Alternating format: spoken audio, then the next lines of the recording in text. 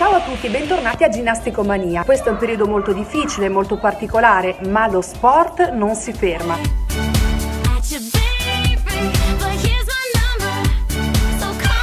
E in questa puntata di Ginnasticomania abbiamo alcuni ospiti speciali, oltre naturalmente a una ginnasta che tutti noi amiamo.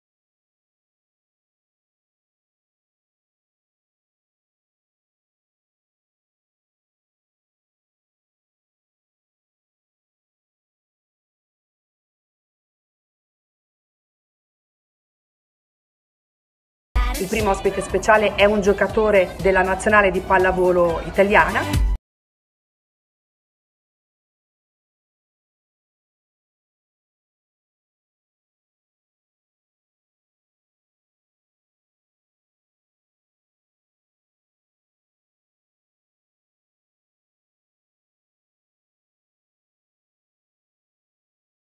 E l'altro ospite speciale è un cantante che tutti adoriamo, Neck. Ma cominciamo la puntata con Desiree Carofiglio, medaglia di bronzo ai mondiali di Stoccarda. Desiree è stata molto molto carina e ci ha mandato dei video che ha realizzato per noi da casa sua, dove ci racconta come si svolgono le sue giornate in questo periodo molto particolare di autoisolamento e soprattutto come si sta allenando. Pensate che addirittura ha ricreato una palestra in casa sua e ha rivoluzionato rivoluzionato l'intero design dell'arredamento. Guardate! Ho appena finito di fare il lavoro di là del riscaldamento, adesso mi sono trasferita qua in corridoio e inizio a fare volteggio con i preatletici perché questa qui è diventata la mia rincorsa del volteggio. Barra palestra in questi giorni Infatti abbiamo, ho già spostato il tavolino lì a destra e ho messo il tappeto per iniziare. Lì c'è un cubetto che poi mi servirà dopo e di qua invece c'è un materasso della, di un letto e l'airtrack che mi serviranno dopo per fare il lavoro di trave e corpo libero.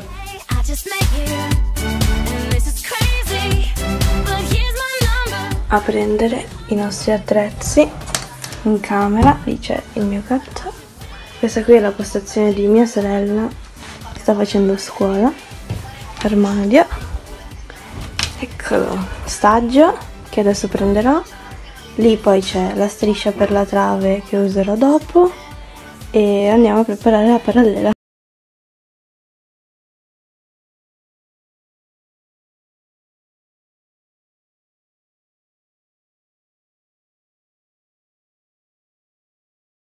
Il corridoio che ho usato prima per fare volteggio si è trasformato in una parallela e adesso mi collegherò con Paolo per fare parallela.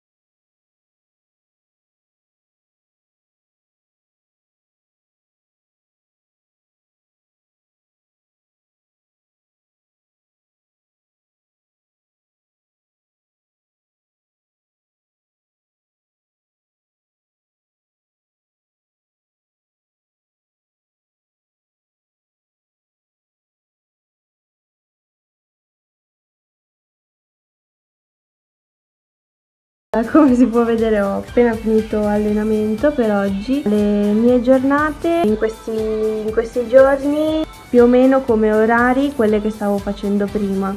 Mi sveglio alle 7.20, faccio colazione, poi alle 9 inizio allenamento fino alle 12.30 barra 1, pausa fino alle 2, 2.30 e poi rincomincio con un workout eh, su YouTube e poi finisco il lavoro di trave e parallela cercando di fare ovviamente quello che si può qua facendo potenziamento e lavoro di base. Il pomeriggio invece alle 5 tengo io una o due lezioni online per eh, fare ginnastica con le bambine che stavo allenando prima di questa quarantena e poi vabbè solito cena e si guarda un po' la tele. Per la questione delle Olimpiadi trovo che sia giusto che l'abbiano rimandata all'anno prossimo, anche se la preparazione adesso si allunga di nuovo di un anno. Si cerca di stare comunque concentrati sull'obiettivo perché l'obiettivo alla fine è cercare di andare alle Olimpiadi e niente, testa alta e si continua a lavorare anche da casa. Un bacio complicato eh, per tutti.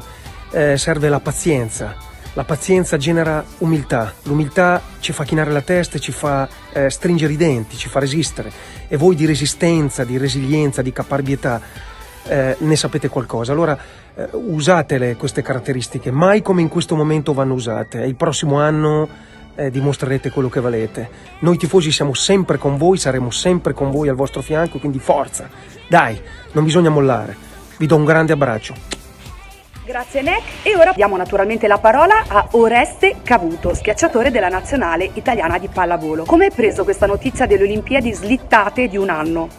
Ciao a tutti ragazzi, come ben sappiamo l'Olimpiadi di Tokyo è stata rinviata di un anno, quindi si svolgerà nel 2021 e questo però sicuramente eh, non, eh, non, farà scomparire il nostro, il nostro, sogno olimpico. Il sogno olimpico è un sogno di tutti i giocatori e lavoriamo per questo, per, in, per inseguire i nostri sogni e il fatto che sia stata spostata non cambierà i nostri obiettivi, anzi avremo molto più tempo per, per lavorare, per prepararla e arriveremo sicuramente a Tokyo 2021 eh, con, con, maggiore esperienza, ovviamente si spera.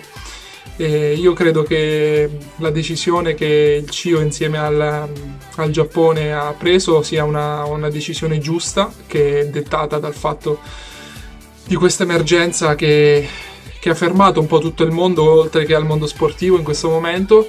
Quindi io credo che la maggior parte degli atleti siano, siano d'accordo con questa scelta perché la salute deve essere tutelata. Eh, però, ripeto, avremo più tempo per prepararci, eh, ci stringiamo tutti insieme di fronte a questa difficoltà e arriveremo a Tokyo con, eh, con, più esperienza, con più carica e con più voglia perché è vero che si dice che la, l'attesa aumenta il desiderio. Quindi l'attesa di un anno aumenterà il desiderio per questi giochi che saranno i giochi del, del popolo perché per queste persone che stanno lottando in questo momento con la vita e noi lavoreremo anche per